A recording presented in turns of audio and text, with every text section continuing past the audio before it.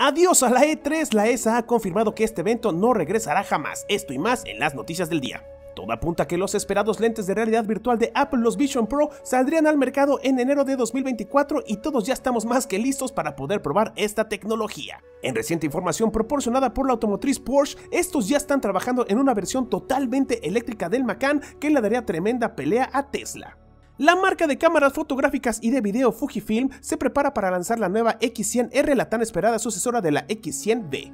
Como ya lo decíamos, el día de hoy se confirmó lo que ya todos temíamos. El E3, el evento de videojuegos más importante del mundo, ha quedado cancelado para siempre. ¡Qué triste!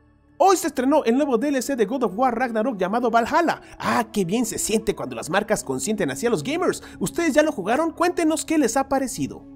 Un desastre el lanzamiento del esperado juego de The Day Before, un massive multiplayer online al estilo de The Division que está lleno de fallas, bugs y un gameplay alejado de lo que alguna vez se presentó, y ahora el estudio desarrollador Fantastic ha dicho que cerrará sus puertas. Con esto concluimos las noticias de hoy, chiquitines. Recuerden, yo soy el George, nos vemos mañana aquí en Kixila.tech.